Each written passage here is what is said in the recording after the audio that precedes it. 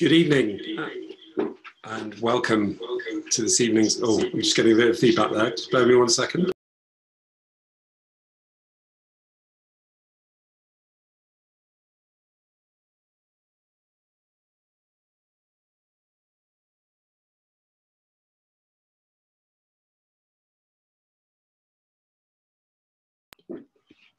Apologies for that.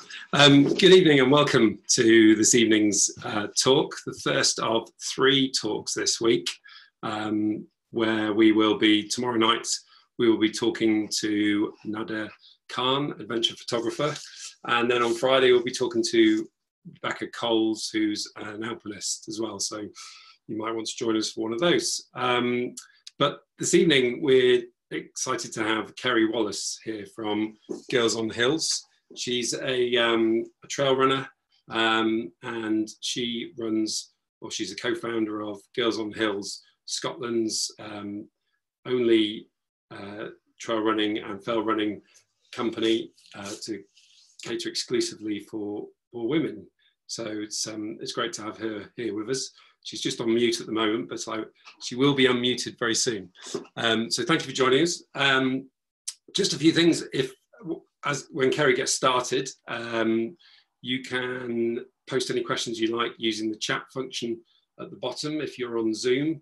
Um, we are um, going to be streaming live on Facebook as well. So if you're on Facebook, then you will want to maybe add in the comments any questions as well, and they will come to me here, and I'll ask Keri at the very end um, about those um, for those questions. Um, and I do hope that you'll you'll stick around till the very end because at the very end we have a um, a, a, competition to offer you. So um, hopefully you will um, enjoy the talk and still be with us to ask some questions and enter the competition as well. So without further ado, um, I'd like to invite Keri to switch on her microphone and uh, I will um, I will hand over to her. Here we go. So there we go. Keri, are you with us? Hello. can you hear me okay? Yes, we can. Yes, thank you. Um, so, Keri, um, over to you. I'm going to uh, disappear. okay. okay. All right, over to you. Hi. Well, thanks for, for joining me. We're uh, in sunny Ballachulish at the moment. And um, Ellis Brigham have asked me to speak to you this evening about uh, why trail running. So that's kind of why trail running for me, how did I start trail running, and uh, why do so many people love trail running? Um, so it's kind of a, a, bit like a talk of two halves, really. Um, the first bit is how did I get into trail running? Well, I definitely didn't get into trail running at a young age. I think I was like most children and to be honest, really hated running. Uh, I grew up in the West Country, so it, there was no mountain running for me as a child. Um, I was kind of running around on beaches and uh, moorland and that kind of thing. Um, and some of my earliest experiences of, uh, of running were actually, um, oh, one moment, I can't seem to move through my slides. There we go. Um, was actually uh, surf life saving championships and events and this is me doing uh, beach flags uh, i was national champion at beach flags um, at, when i was a junior uh, which is yeah a completely obscure sport that nobody else has probably ever heard of um, but took up quite a lot of my time as a child competing in these events um, and also uh, athletics. This is the county championships. I was always a sprinter, definitely no long distance running for me. And the thing that I remember most about it was how I absolutely hated it. The the the competition, the nerves. I was always just sick to my stomach with nerves, um, and it totally ruined it for me. Um, and the, the, pressure and the structure, and anytime there was a meet or a competition, a tournament, I just hated it. I was always so nervous. Um, and I, my childhood was really dominated by playing a lot of sports, and it was always like that. I was always nervous about competitions. The one thing that I did do dabble with or tried at that same age, age 12, was, was rock climbing. And this was me, age 12, at, at a school activities week. It was the first time I ever tried climbing, and I absolutely loved it. And I thought, this is something I really want to do. It didn't have that kind of competition feel, it didn't feel competitive. And I, um, but I couldn't find a way to do it. I couldn't find a way to get into it. So after that one week of rock climbing, I, I never actually touched rock again until I was in my mid 20s. So um, I just couldn't find an avenue uh, to, to pursue the sport. So yeah, running and, and climbing and mountains were just not not on the agenda at all for me um, until quite a lot later in my life. Um, it was actually uh, 2006 when completely randomly some friends of the family said, do you want to join a, a three peaks challenge like many people do, walk up the three highest peaks in the UK um, and, uh, you know, see how you get on and, and have the experience. And I thought, well, that sounds amazing. I've never been up a mountain before, give that a crack. Um, and unfortunately, that also uh, was not to be because um, the very first summit we tried to, to climb was, was Ben Nevis. And I had a, a kind of really terrible experience that day on the hill where I was uh, encountered a gentleman who had had a heart attack. Um, and unfortunately, he needed uh, first aid, and I, I had recently done uh, first aid qualification, so I ended up stepping forward and, and giving CPR and and speaking to the mountain rescue and, and giving them our coordinates and the weather was deteriorating and it, it was all a highly stressful experience and unfortunately the the, the guy uh, didn't make it. Um, it was really sad. He had he had family, um, and I found it really traumatic. And it took me a long time to get to get over it and sort of come to terms with the fact that uh, you know I couldn't have done done more, or that it wasn't my fault, or I shouldn't have done something differently. Um, it really really affected me. Um, and that was my first ever time on a mountain, so it probably wasn't ideal. But the thing was that prior to that actually happening, I was having a really amazing time, and I was thinking, this is incredible. I really want to be in the hills. This is just like so exciting, and I totally loved it.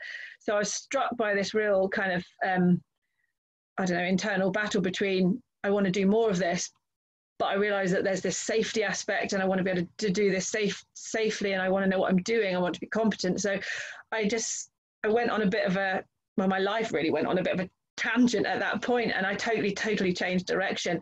So um, the following year, which was 2007, everything was different. I, I decided that um, I was going to quit my job. I was going to move to North Wales. I was going to take up rock climbing. I was going to go fell running. I was going to be this totally different person. This is just what I wanted to do. Um, so I thought it would be a really good idea to teach myself to navigate by reading a book and then signing up to the Lowe Alpine Mountain Marathon, which was my first ever hill race. Um, turns out that's actually a really bad idea um, and it went horrendous. It was terrible. Everything that could possibly have gone wrong went wrong. We were on the hill for so long um, and there were lots of tears and uh, it was it was hard. Um, but again, I just totally loved it, and I just thought this is brilliant. I want to do more of this. Um, and the same year I started rock climbing, I thought I'm going to sign up to become uh, to do my training to become a rock climbing instructor. Um, I just literally threw myself in the deep end. I, th- I, thought I've got loads of time to make up for. This has been too long in the too long to to come. So yeah, I'm going to make up for the for the lost time. So yeah, I went straight into that.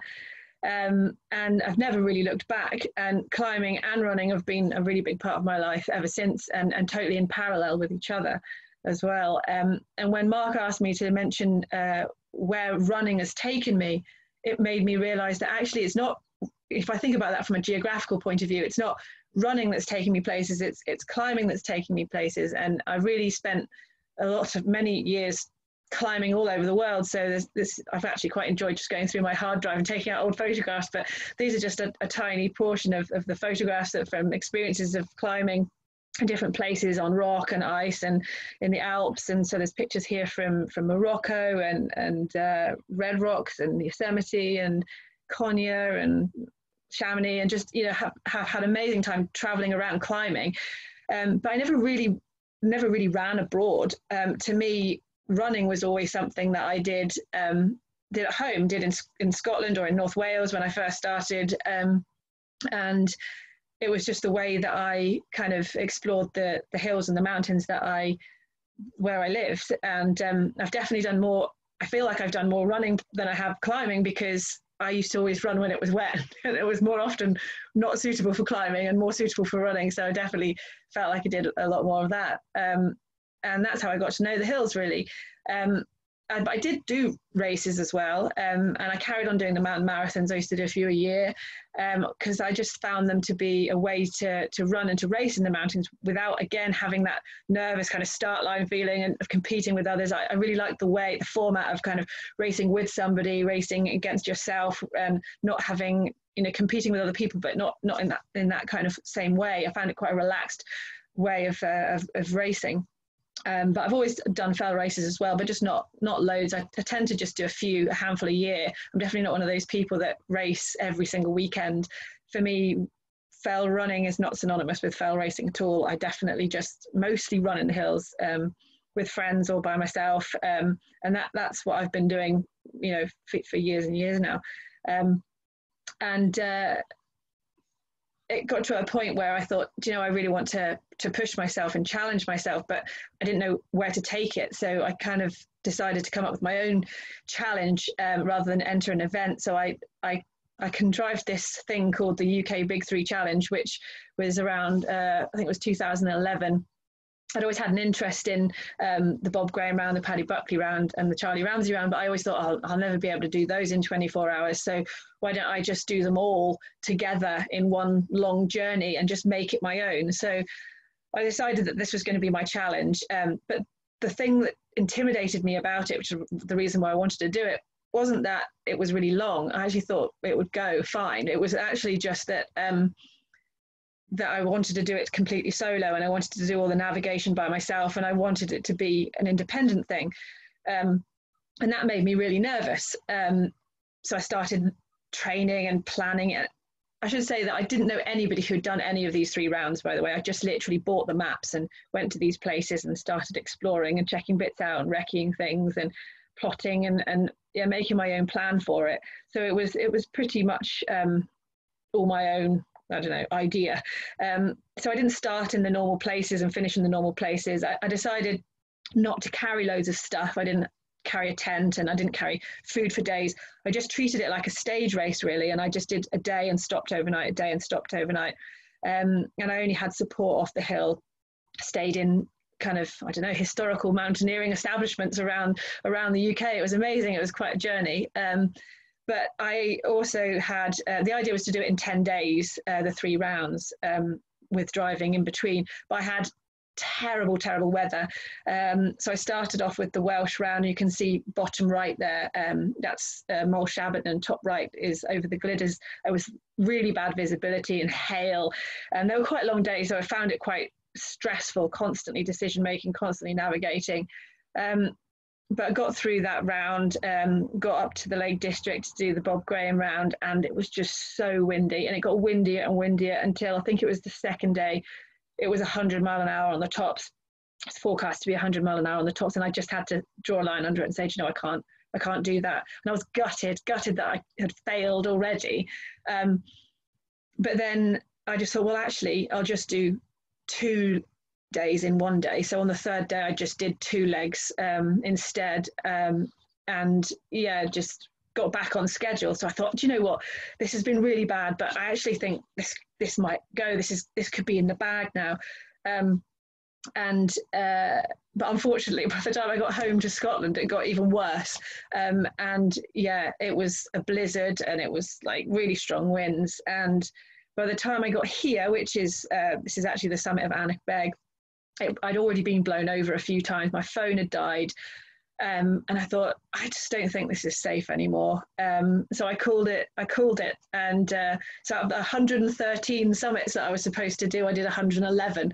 And uh, yeah, I failed on my challenge. Um, and that was a really steep learning curve for me because I was devastated and put so much hard work into it. But I think when you put so much effort into something, it's sort of in proportion to what you can get back out of it. So although it took me a while to kind of to realize it and step back and see it, I actually learned more about myself, um, learned about my strengths and weaknesses um, as a person, but also about my running. You know what what my weaknesses are and, and where I where I can keep on pushing through that challenge than I have pretty much anything else. Um, and if anyone else is interested in taking that kind of more, if you like, accessible approach to those rounds, there is a chapter in the back of uh, David Linton's book um, that I've written that uh, that you can read a little bit more about what what I did there. But yeah, so that was kind of a really life changing or running changing moment for me to do that um, challenge. And, and off the back of that, I really started to um, explore more around where I live, uh, which is here in Glencoe. And um, this is me in a stretcher with a mountain rescue team training. So I joined the Glencoe Mountain Rescue Team and I really got to know the hills around home, um, all the nooks and crannies and all the places that you would never actually choose to go. Um, and that's how I got to know the area where I, where I now work. Um, but I was probably only on the team for maybe four or five years. I sort of felt that I'd almost come full circle since that day on the Ben when the mountain rescue had to come up and help this casualty and, and I had some dealings with them then and, and felt completely useless. It felt like qu- quite nice to be able to join the team and, and to be useful for a, for a while. And so, yeah, I did sort of four or five years of uh, on the team before uh, this happened. Um, so I had two children and everything completely changed. Suddenly, there just wasn't enough time for for climbing and traveling and running and racing and training and work. Um, so yeah, I just couldn't fit it all in, um, and that hit me pretty hard for a while, trying to work out how to juggle it all. Um, and I realised that something had to give, um, but I also realised that I guess I'm not I'm not the mum I want to be if I don't run. So as long as I get out and get some running and I feel fit and healthy, then I can be a much better mum to my girls, and it, it really helps balance me out. So um, I guess I had to admit that running had become a bit more than a hobby for me. Um, it definitely become part of who I who I am, and so it was at that point that I kind of took what I'd learned before, which was you know that, that experience early on on Ben Nevis, it kind of used, it made me feel like life's too short. You need to just get on and do things. And and so I thought, well, do you know what? Life is too short to not do what you what you want to do with it. So um, that's when I sort of took the leap really and started Girls on Hills uh, with my friend Nancy, who is in the picture up there. If you can see my cursor. Um, yeah, we started that three years ago now, um, and the idea is to really empower women, I suppose, with by using outdoor recreation, by using running, by using hill walking, um, and and to empower them with the skills and the, the confidence to go out and do some of this stuff themselves. It's like a terrible business model because I'm always telling people, you don't really need me. This is all you need to do, and you can go and do this by yourself. Uh, but that, but that is the idea. Um, and it's been uh, it's been brilliant. It's been really good fun. Uh, you know, we've had a bit more success than we ever thought we would, um, which has been great. But also, it's just been really really good fun. Um, and you know, I have no idea.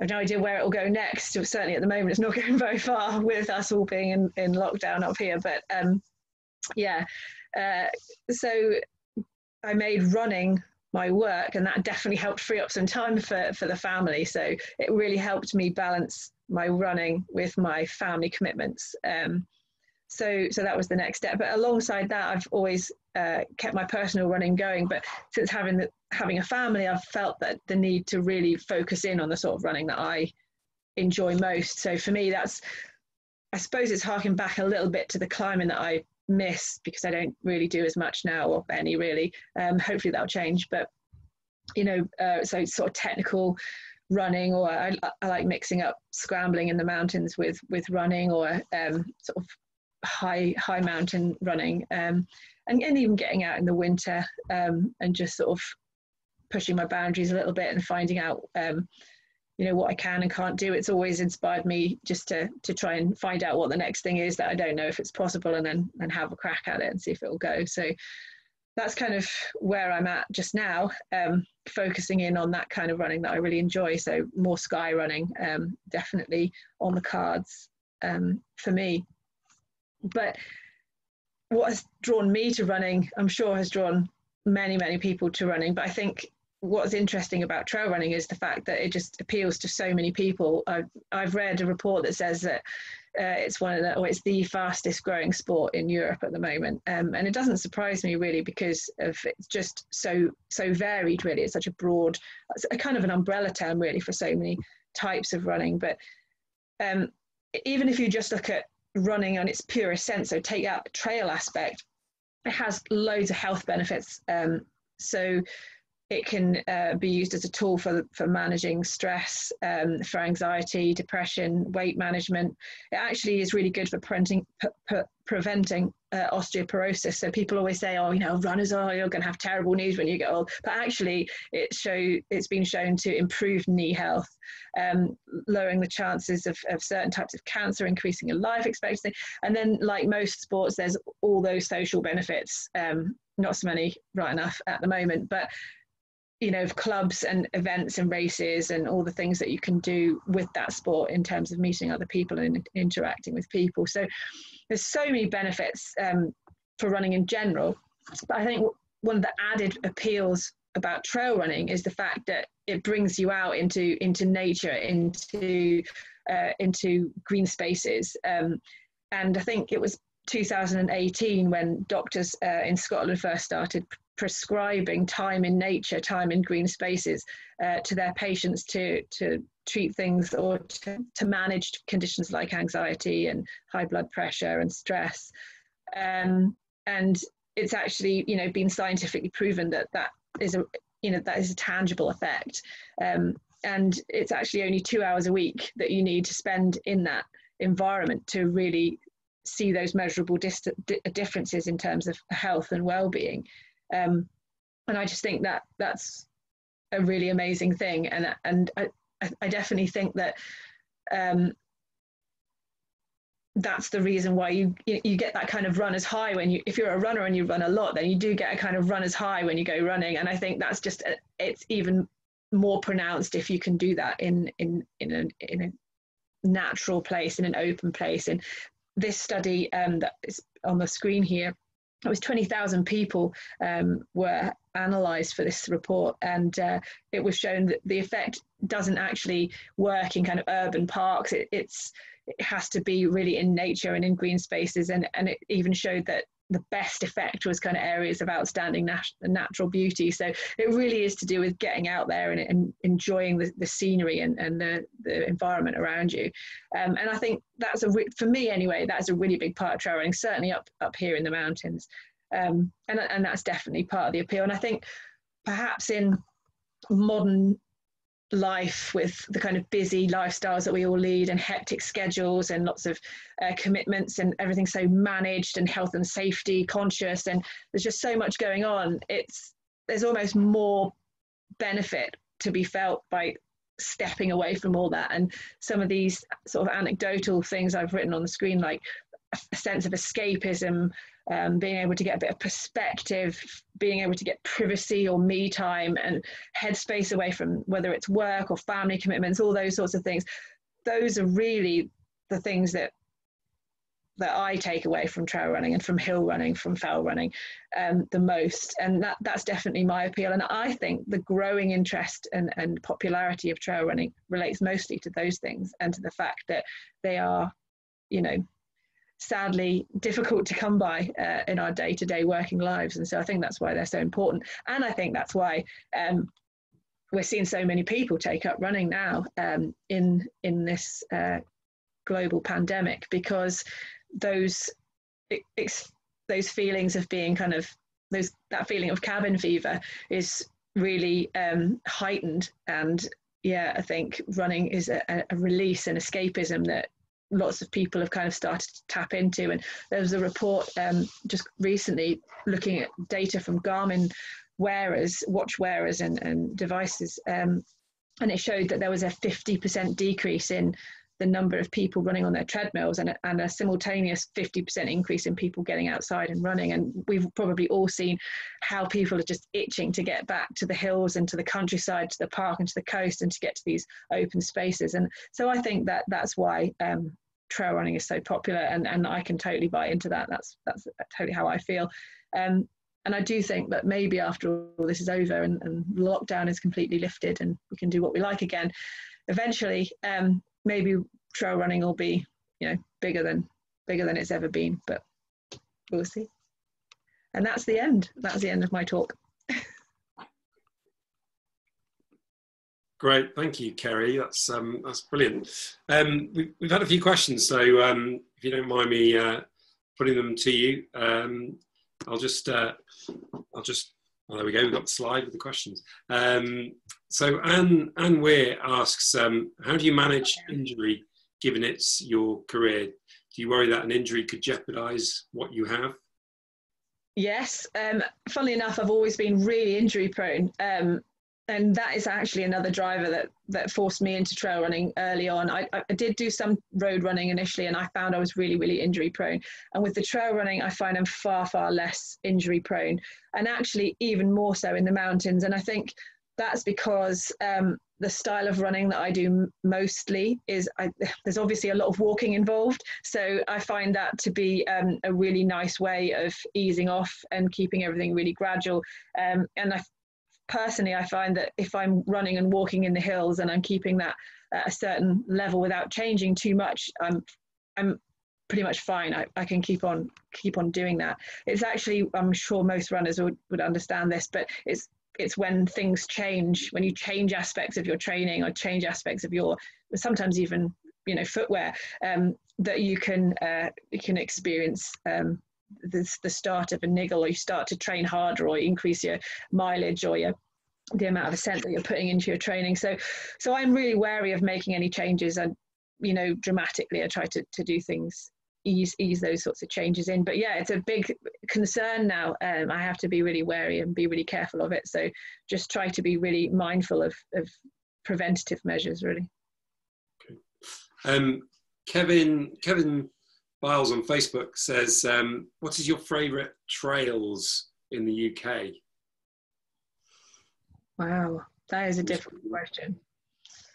Um, I don't know if I could say I have a favourite trail. Do you know, I'm probably one of those people that just never really wants to run the same trail two days in a row, and so even you know even locally, I always am always mixing it up to go to something that I haven't been to for a while. I think actually it's kind of the opposite thing. It's just the novelty factor. So anything new, anything different um, is always is always a great one. And I tend not to want to run the same. You know, obviously there's routes that I do a lot more than others locally um, and it would probably if i had to choose it would be something with scram with plenty of scrambling in it something like um, something around the Coe probably.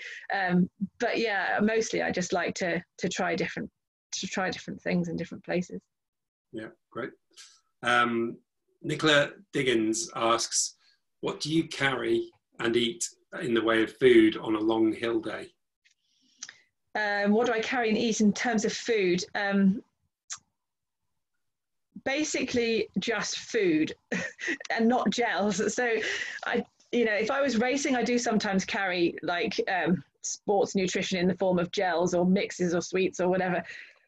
But I found that more recently, um, you know, I can go for longer and I feel better if I just eat normal food. So it's, it's things that I can, um, I suppose it's similar to to the approach that people take when they're running an ultra distance event or something like that. It's something that's really palatable to you, um, that you know that you can tolerate um, and that you can eat on the go, and it's not going to uh, make you feel feel really horrible. Um, I take quite a lot of things like hot cross buns, um, and I quite like pork pies, even though they're really dense and heavy.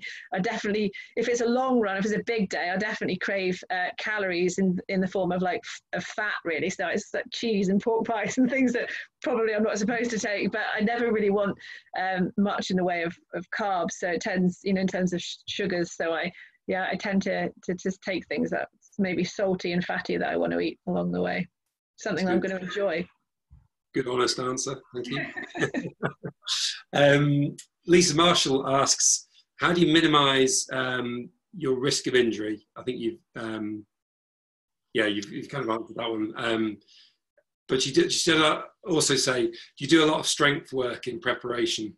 So um, whilst the question before was um, how do you manage injury, this is sort of how do, how do you limit your risk of injury? What sort of training do you do? I think I do try to do a bit of cross training. I'd like to do more, but I do feel that uh, I sort of touched on this earlier, but I kind of I'm definitely trying to balance the whole running thing with the family commitment, um, and I, I, don't. It just there's not enough time. I'd love to do more more core strength and conditioning uh, and, and just general sort of strength and conditioning work, but I I actually try to build that into my running more in terms of just the style of running that I do. So more whether it's be more hill work or different styles of workouts as part of of my training. Um, I do, as I mentioned before, quite a bit of scrambling. I have a, a bouldering wall at home. I can do some climbing, um, and yeah, I, I, try to mix things up a bit like that. And if if I feel that I've got a bit of a, a niggle coming on, perhaps I do a bit more cycling or something to take some of the pressure off um, and and keep that aerobic uh, work going. So yeah, I, I definitely the answer is probably that I should do a lot more. Um, but I, I, definitely also believe in a kind of um, of a specificity of training. You know, so I do largely do in training what I do for racing. So, but as I said before, racing is a, very small component for me of of um, of what I do. I don't do a lot of racing, and so my my work and my own personal running is generally pretty relaxed, to be honest, and and that means that there's a much lower risk of injury. I think. Okay, great. Um, just sorry, I'm looking down to look at my phone. We just got a few questions from. Um, uh, here's a good good question during uh, during lockdown. Gail Samson on Facebook says, um, "Any reading recommendations for those of us missing the hills?" Oh, um, one book, but uh, yeah, okay. Um, I think if you haven't read Feet in the Clouds, you should read that one to start with. If you're interested in being inspired for running in the mountains, I think that was one of my first, you know, reads that really got me interested in the sort of British fell running scene. Um, so give that one a read definitely. Richard Askwith, I think it is. That's feet, feet in the Clouds, is it? Yeah. Yeah. Okay. Great. Thank you. Um, question from Colin Way what ambitions have you got for the future? Oh, do you know, I sort of feel like it's one of those questions where you like you don't really want to say in case you look a bit stupid because it'll be something totally impossible. Um, yeah, I don't know. I'd really love to do some. Um, I'd like to do I'd like to have a crack at one of the rounds at some point um, that I mentioned in the three. You know, when I first did those, I was like, oh, I'll never be able to do one of those rounds. It's totally unrealistic. Um, and you know, it didn't. It wasn't even on my radar. But as I've done so much more running over the years, I've started to think actually maybe that would wouldn't be too bad, and I'd like to to do that. And I think not you know, just really because it feels like as somebody who loves running and, and been involved in the running community for a long time. It feels like it's something that you have to do, like a rite of passage. I feel like I need to go and do do that. So um, I'd really love to, but I'm fully aware that, there's a lot of time commitment there, and uh, I just don't have that right at the moment. So that's a definite ambition. And there are big races in the Alps I'd love to go and do. I'd like to do it. Uh, I actually was entered, had a place for. Um, a race in Switzerland this year, a sky, an extreme sky race. I was really excited about doing, which has obviously been cancelled. So um, I'd like to do some more international sort of sky racing. That'd be great too. Um, I've got a question for myself. Um, as a as a father of three girls, how do you? Because um, how how old are your children? Uh, three and five. okay, so similar similar ages. Um, how do you how do you go about getting maybe the five year old interested in running? She's just started to sort of go on a few little few little runs, but um, she much prefers riding a bike at the moment, which is yeah. fine. yeah, so we haven't actually tackled. We only very recently started to tackle running with her. Um, uh, again, like you say, she's done so. She's done some biking and she's cycling her bike, and she's she actually really quite enjoys the climbing wall, so that's really good. But we hadn't really tried to do anything much with the running. Um, but then since lockdown, it seemed like a good way to to to, to take her out and get some exercise. So we gave her. Um, we gave her a little pair of trainers and like a headband so she felt like she was part of it. And then we went running um, just on a little loop but it was really like uh, you know there no pressure. It was just supposed to be really fun. And uh, we, we sort of made it like clambering up and down and jumping off things and sort of collecting flowers on the way. And, and actually she's totally loved it. I think because at that age they're just sort of finding their feet aren't they? They've gone from that sort of like slightly um, uncoordinated sort of toddler phase where they look really inefficient and you think please don't run because you're just going to go splat to actually they're suddenly they actually can almost almost do it. Um, and she's really enjoying it actually. So just trying to keep the pressure off and make it fun. If she wants to, to go, then we make her feel like she's going on a proper run with mummy or a proper run with daddy. And we go and do a little trail loop around the, like a couple of K or something. And she, she's actually really enjoying it. But you know how it is with kids, it probably won't last. So. Brilliant. Thank you for that. Um, just go back to a few questions from uh, people who are on the uh, watched it this evening. Um, have you got any recommendations for kit, clothing, shoes, or anything like that? Um, that's a that's a big question. Uh, yeah, I mean, there's things that I use, you know, that I kind of like loved pieces of kit, I suppose. Um, some would be so I have like a, a really nice wind top. Um, I think it's an Arc'teryx wind top, but it doesn't matter what it is really. To the extent that I've just find I've had several over the years, I just find them a really really useful piece of kit for trail running because quite often you know you're quite warm when you're running, particularly in the hills, but the thin layer just really cuts out that you know um, that wind chill factor. And uh, it just makes a huge difference. And it's so light and so tiny. You can just stuff it in your vest. You can just stuff it in a bum bag whatever however whatever you're carrying. Um, and it makes a huge difference. So that, that's definitely um, one of my one of my top bits. Um, in terms of footwear it's just so personal. I mean i i've always well i started out running in walshes but then more recently I've been running in Inov-8s for years. Um, but uh, as I've been doing a bit more distance, I've definitely also been wearing some La Sportiva shoes uh, for sky running, a little bit more cushioning in the middle.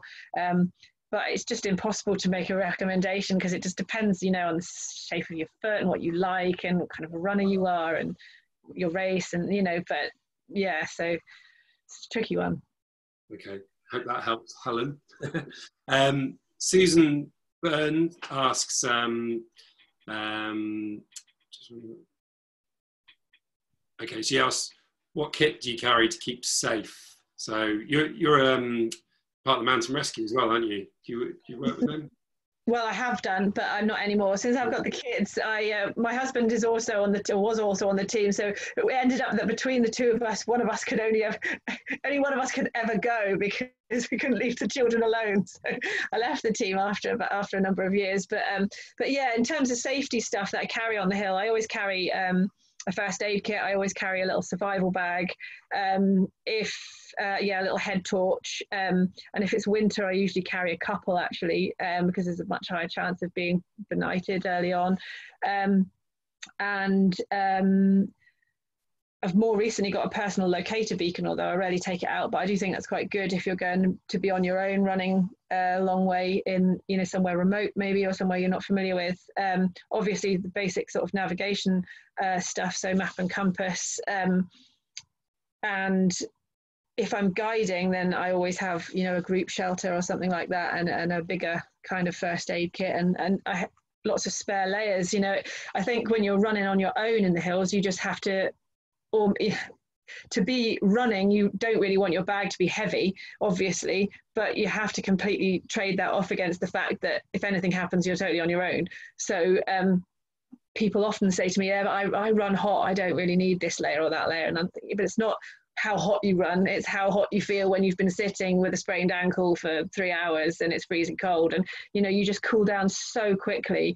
Um, whatever you take with you is not going to be enough. But you know, I think I always go on the side of caution and have uh, plenty of warm layers, so a, a sort of a, a, synthetic jacket of some kind. Um, you know, maybe not in the middle of summer right enough, but you know, in the autumn or the spring, uh, and definitely in the winter, I would, I would have really a lot of thermal layers with me, and, and tend to take um, several pairs of gloves if it's winter because as soon as you put your hands down on anything and they get wet, and you get cold, it's really hard to come back from. So, yeah, that kind of stuff.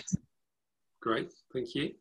Um, just in terms of just in terms of kind of um, skills that you you would sort of encourage people to have if they're going to go off on on big runs. Obviously, navigation being a key one. Um, Girls on Hills run a number of sort of courses around navigation and things like that. Um, but what would be aside from the navigate or in addition to the navigation, what other thing would you recommend um, people would make sure they, they sort of were familiar with before going off on their own? I think it depends a little bit on the on the kinds of trails that you're going to be running. You know, where we work here, um, then when you're go- even if you're going into the mountains, you're not going up the mountains. You effectively need the same skill set um, because you're going to a quite a remote place and the weather changes quite dramatically and the water levels can change quite dramatically the visibility um, and so yeah obviously navigation is really important but things like um, knowing how to to cross rivers plan routes that avoid um, you know river crossings that might become uncrossable in the conditions or knowing how to um, plan a, a, route with a number of escape options so that if you're up in the hills you can say you know if the weather deteriorates and say that a storm rolled in and you needed to get down but you are still a long way from where you'd planned to descend you know you, you can just you've already thought through perhaps uh, a number of options for getting down that would be safe, you know, rather than just going, oh, I'll just go down there or just get down as soon as I can. So I guess what I'm trying to say there is is route planning as well as navigation. So knowing what makes a good a good route, but having a, made backup plans as well for when if and when things don't go well, um, and notifying people before you go uh, where you're going and what your what your plans are. Um, and then there's kind of like more technical skills, I suppose. There's you know um, scrambling and um, you know uh, knowing how to read the weather, and there's as I mentioned before, river crossings. You know knowing how to deal with when it's safe to cross a river and when it's not, um, and, and just basic kind of mountain savvy, really. I think if you're going to be trail running in remote places in the UK, then you're looking at the same sort of skill set that you would need to go to go hill walking or you know in the in the mountains. Okay. Right. Um, Lisa Marshall asks, how do you motivate yourself? This is a good one for me as well. How do you motivate yourself when your head really isn't in a run, um, or do you just love every run? Because no, I definitely don't. That's that's definitely something that I think is a bit of a myth that people think, oh, just because you you know you're a running guide or you work running as your work that you must love it the whole time. Um, and that's definitely not true. I struggle with motivation a lot um, and yeah, it depends. I think sometimes it's a bit of a trick of the mind. I just tell myself I won't, I don't need to do anything big or hard. I just need to just get out the door and do something little. And I often find that if you can just get out the door, you're halfway there. And by the time you actually get out and start, it's much, much easier to do something harder. Or, you know, for example, if you need to do a speed session and you really don't want to do it, oh, I just won't do I'll just go for a wee jog and, and, and then I'll get out and see how I feel. When you get out, they are, oh, all right, it's not so bad, you know. Um, but also, if I'm doing something longer, if I'm trying to build mileage, I use a lot of um, audio books and podcasts and stuff like that to distract myself, to distract me from myself, so that I can just shut the world out really. And sometimes that helps a little bit with the sense of flow. I can sometimes be like, oh, where did those three hours go? Um, and it's just zoomed past. I could have been sitting in a cinema. I haven't really been concentrating. I think that's quite nice if you're trying to um, pass you know pass the mile pass the time on uh, on a runway you've got to do a lot of miles and and that helps helps me get out the door as well. Yeah great. Um, an unusual question from um, Florenza I think it is. Um, she she obviously wears glasses or contact lenses and she asks how do you cope um, with wearing glasses or contacts during your your long runs? Um, so yeah I um I do have quite dry eyes actually, and I do struggle with wearing contacts for a long time. Um, but uh, I never run really in my glasses. I did have a period where I couldn't wear contacts, and it was terrible. I hated hated running in my glasses. Um, and so yeah, I just I literally just um, if I, I guess if I had that issue, I would literally just carry. I have like dry eye drops, and I just carry them a little bottle with me, and I can can use those, and I just keep the lenses in, and, and I find that's fine to deal with. If it's like a multi-day thing, so I always used to find it quite nerve-wracking on mountain marathons because I used to carry. I have like monthly disposals, and I used to carry them in my pack, and had to put uh, sorry, daily disposals. I had to put a new pair in in the morning, and it was always really nerve wracking trying to put this thing in without a mirror inside a tent and thinking if I, if I drop this I can't see for the rest of this event you know. Um, and it was a really scary moment trying to put this lens in every time. Um, so you know yeah, if you can avoid having to do that, then that's that, that's really good for you. But no, I've just had to deal with it. Just to put the lenses in, wear them, and, and keep them as moisturised as possible, and carry a couple of spares if you have to. I've actually knocked them out with my walking poles, my running poles in the past, given myself a bonk and lost one. So I think it's worth having one in your bag if you can. Yeah, they don't weigh much. yeah. No, I've, I've been there while camping and um, trying to put contact lenses and drop yeah. them on the floor, and then you're uh, you're like yeah. looking around in the grass for your yeah, terrifying. Um, so just a, a, couple more questions then, if you if that's okay. Yeah. Um, what was um, Victoria um, Bentley asks? What was the most challenging aspect of setting up Girls on Hills? Because how old is Girls on Hills now? This is its third third year, so still quite young. Um, the most challenging aspect has probably been was probably just making the taking the leap to, to, to do it in the first place. I, would actually had the idea or something similar for many years before. Um, and just always thought, well, I can't possibly do that. You know, that's a ridiculous idea. It's like a pipe dream. Um, and not really having the, the confidence to, to do it. Um, and actually you know, doing it with Nancy and having two people involved and, and having somebody to bounce ideas off and to say, look, we should just do it. Just get, let's just jump and just put it out there and have a go. Um, and that was definitely the hardest bit because and it's not my background to to run a, a business and um, you know I didn't really I don't really necessarily know what I'm doing so we're sort of definitely making it up as we go along um, but to an extent that's really exciting. It's really interesting. Um, but it was really intimidating because you feel like you're going to get egg on your face you know you just think well what if this all just looks doesn't work and it's all goes pear-shaped? But um, it's been a really enjoyable journey and it's definitely been worth doing it so yeah. That's great. Um, phil phil cox asks what would your advice be for someone that has done a few organized trail runs and wants to take the next steps to go further, bigger, or longer? If you're interested in racing, then I think it's a, just a question of finding, you know, doing the research and finding the event, those kinds of events that sort of tick tick the boxes for you. I think there is a bit of a step change there between sort of tr- if you decide to to go from something like trail running to fell running to something more like a mountain race because there is that navigational aspect where you need to self navigate and choose your own route potentially and that kind of thing.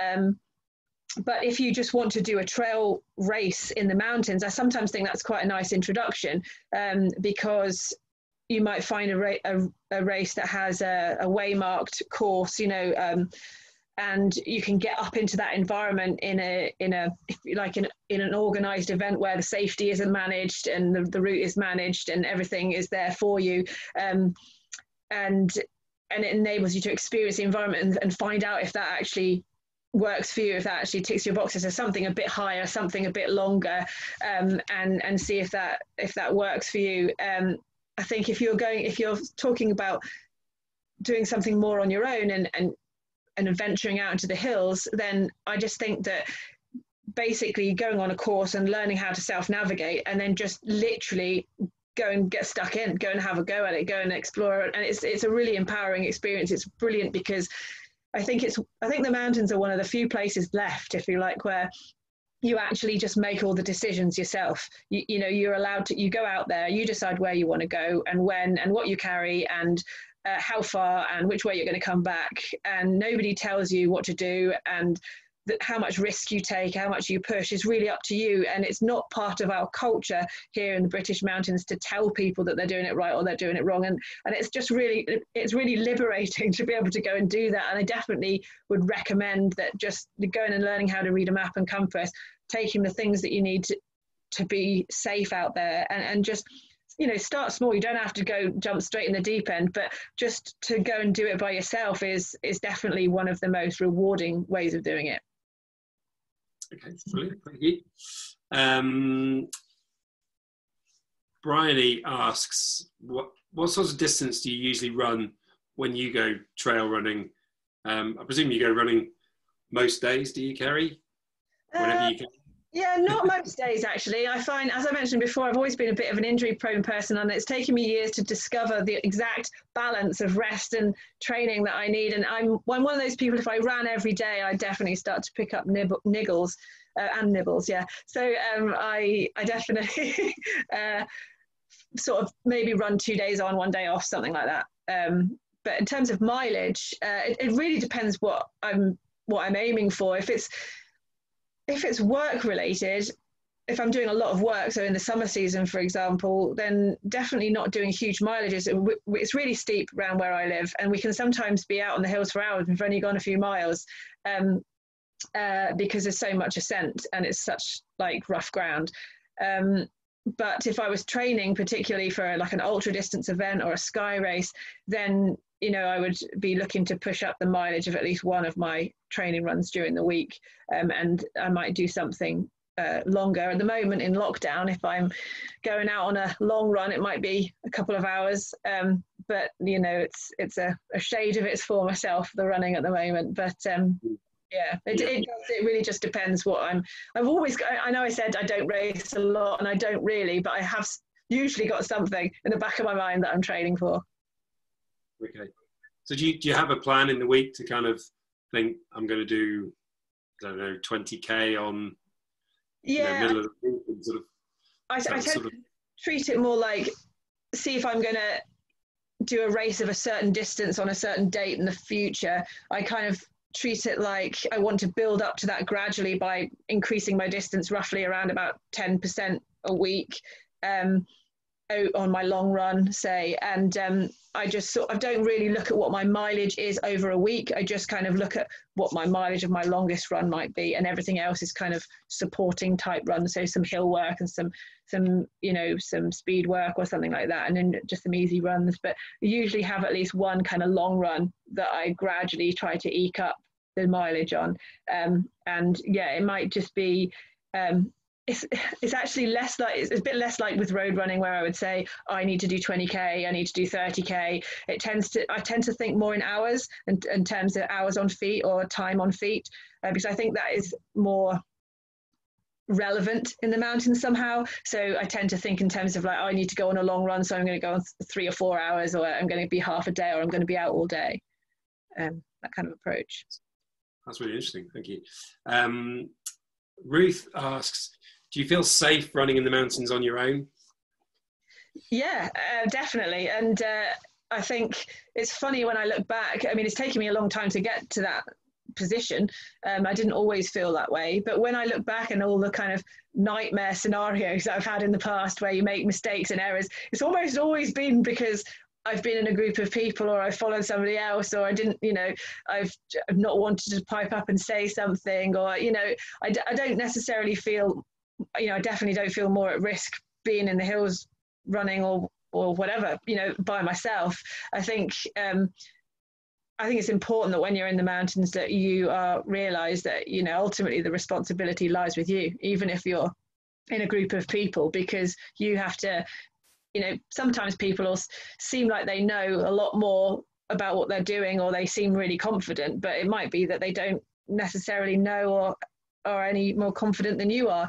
Um, and so I think when you go up there, you have to imagine if a worst case scenario happened and that person that you're hiking with and, and relying on um, was to, to get to get injured and you had to go for help, then you know the buck stops with you. So I think you you have to sort of take that approach, um, and that's why I think learning how to navigate and learning how to look after yourself is such a empowering experience because then basically after that you're free to go where you want with whoever you know and make your own decisions. And and being able you know when you get back and you've you've done all that yourself and you feel that you've done it well i think it's a rewarding experience. Like i did that you know i did that by myself. Yeah yeah. Right um, just two more questions if if i may. Uh, there's a question here from anonymous. Um, he says have a traumatic brain injury and have found that running in the mountains reduces my cognitive load. Um, has Girls on Hills worked with people with neurological conditions at all? No, we haven't. Um, but I'm I'm not surprised to to hear that because it, only in that it never ceases to amaze me the, the sort of benefits that people get um, from from running and from being out in, in the hills and in the mountains. Um, so we, we haven't come across that, but we we have we often well, we always take kind of medical information from the people that we we take out running, and, and we see all kinds of different um, medical conditions and and uh, people's in people's backgrounds and um, so many people come to the sport to to find uh, a way of managing that or relief, um, and particularly um, around sort of mental health and those kinds of things. Um, we it was it was something actually really took us by surprise when we first started uh, running. We didn't expect people to feel um, to be using the hill so much as therapy, if you like, um, and to, to, and actually to feel that they could open up and talk um, more more freely um, about about you know their situation uh, when they're out in the hill, and, and that's been a really uh, interesting uh, sort of aspect of Girls on Hills for us. Has made it really rewarding. Um, but yeah, that's interesting to hear that. Um, and fi- final question: um, What's as a if there was a well Adam is um, hasn't started running yet, but what's the one bit of advice you'd give him? Um, uh, he's thinking about maybe a trail run to kick things off. Um, what would you say to him as a, a complete beginner? What's the one bit of advice? I would say that um, my advice would be to just it sounds a bit sounds a bit boring but it's just to build up to build up gradually because i think if you I think trail running is really addictive, and I think people get into it and they think, "Oh, this is amazing! I'm just going to throw myself in there." And before you know it, they've gone, "I'll do a 5k, I'll do a 10, I'll do a 50k, I'm going to do an ultra next week," uh, and people just go go crazy because they fall in love with it and they want to do it. And and when I meet new runners, the thing that strikes me uh, a lot of the time is, especially if they've found something they feel passionate about, is um, it never occurs to them that they're going to pick up a running injury. And, and you have to remember that even though the incidence of injury in trail running is lower than in other in other types of running, like road running, for example. Um, you still can get injured. It is a repetitious sport, is a high impact sport, um, and there's a lot of kind of, particularly as you start moving into longer distance running, there is that kind of overuse aspect. And if you do it right and you build up gradually, you don't have to necessarily pick up a running injury, but they are so common, and it's such a shame for it to happen. And if I could sort of go back to for myself, I felt slow down, go a bit, just just build up gradually, um, and don't just go crazy and jump straight in the in the deep end and injure yourself. Because once you start building up niggles, it's quite hard to to not carry carry them around with you as you you know continue to, to do more and more mileage. So I definitely would say, whilst you're not a runner, build it build up into being one with with that in mind, so that you can build from a really strong base. Great, that's great, great advice. Thank you, Karen. Um, so that I mean that's really all we've got time for. So um, just wanted to say thank you to Keri. Um, that's been really really interesting. Um, if you want to check out a bit more um, about the courses that Girls on Hills uh, offer, then it's girlsonhills.com. Is it, Keri? Yeah. Yeah. Yeah.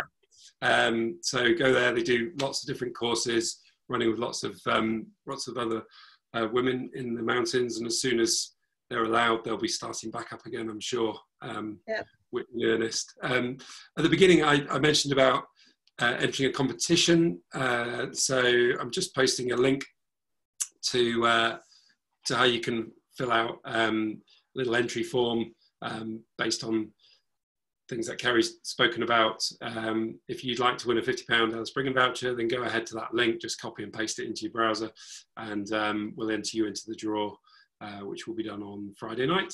Um, and that's that's really um, everything. And um, yeah, just to say thank you again to Keri. No, thank, thank you. you. Thanks for having me. Thanks for listening.